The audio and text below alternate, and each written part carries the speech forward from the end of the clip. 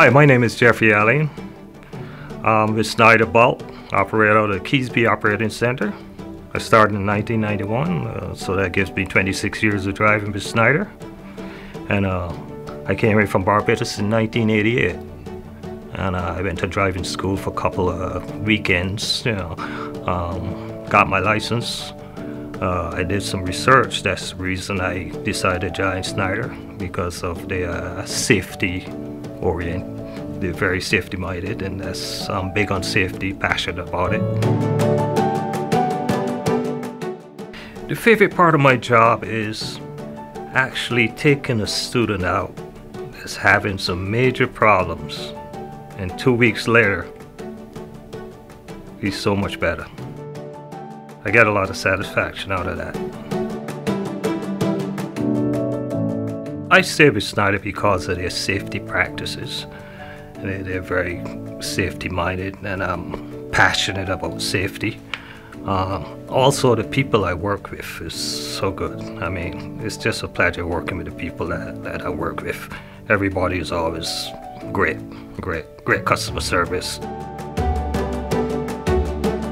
The most difficult part of my job is dealing with distracted drivers on the road. I, I think this is becoming a serious problem.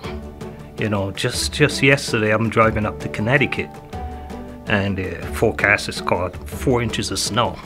And there's this lady driving alongside me on snow, one hand on the wheel, and the phone is right up to her face.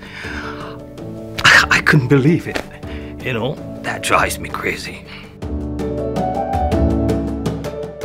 Going beyond getting the job done in the bulk business, because we face a lot of challenges with different products, you know, different viscosities of products that takes extra time, and uh, the problems that we incur, such as, uh, for instance, uh, you might be pressurizing the trailer to air the product off.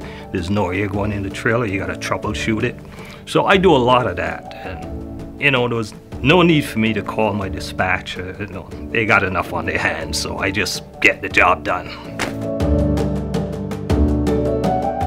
When they follow up on problems that I have or any issues with, as far as the job is concerned, I like to get feedback to, you know, knowing that we did something about it and some kind of corrective measures was, was put in place so we don't continue to have the same problem.